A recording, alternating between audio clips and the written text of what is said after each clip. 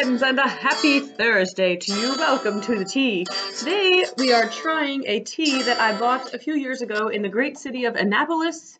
I was going to say Annapolis, New Jersey. Wow. In Annapolis, Maryland, home of both the Naval Academy and St. John's College, which is a really cool college for like really smart literary people.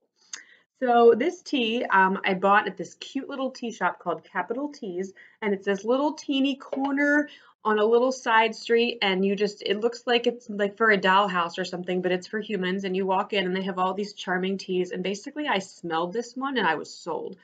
Um, I was in Annapolis because I was sort of I was there for business pre-teaching, but I also had a pretty serious crush, I guess you'd call it, on a Naval Academy graduate. And so he had instructed me to go to certain places in Annapolis, and one of them was this tea shop. And so I decided I was going with it because I had a little crushy poo on this dude. So I went to Capital Teas and I smelled a bunch of things and I smelled this one called Annapolis Treasures and I was like, that's it, man, that's delicious. So this is actually my last um, bit of Annapolis Treasures tea that I'm drinking today. So I made a little tea bag here. If I smell it, I would say it has a very floral feel to it. It's got a little bit of that Paris tea feel, but I also feel like there's a fruitiness. Um, obviously it smells really good because I smelled a lot of teas that day and I picked that one as the one to buy. And it was not cheap, if I do recall correctly. It was not like insanely expensive but it was not cheap. So I'm going to let that steep for a minute and then we're going to give it a try and then we're going to talk about today's positivity. See you in a second. All right, we've had some time to steep. It smells still floral and berry-esque. Let's give it a taste. I put some sugar in it, a decent quantity, because it just felt like it needed it. Let's see here.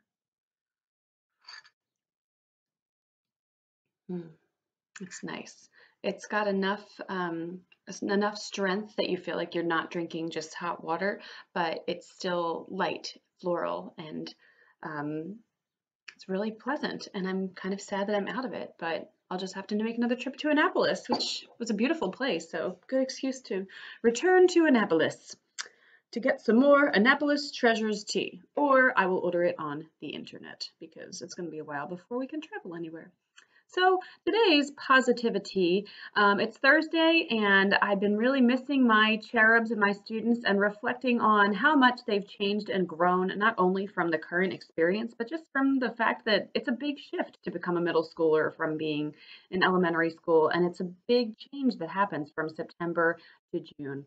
And so it's only April now, but June is fast approaching. And so I was just reflecting on my awesome students, and I thought today's positivity is that it's Throwback Thursday, and it's time to take a little romp through history.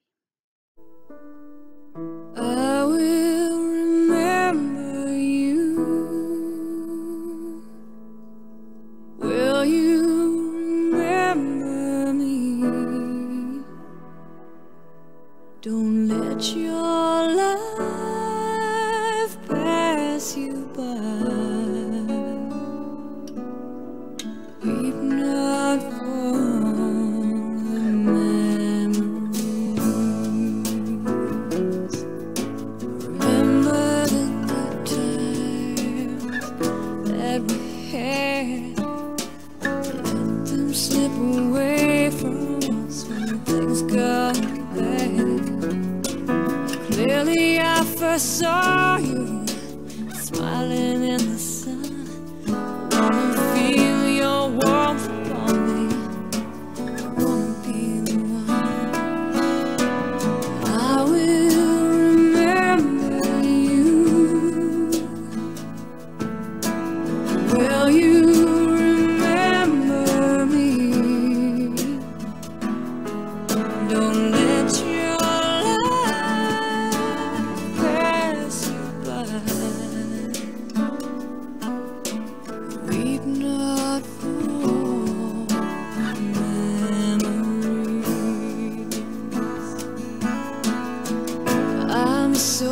tired, I can't sleep. Standing on the edge of something much too deep. It's funny how it feels so much, and we cannot say.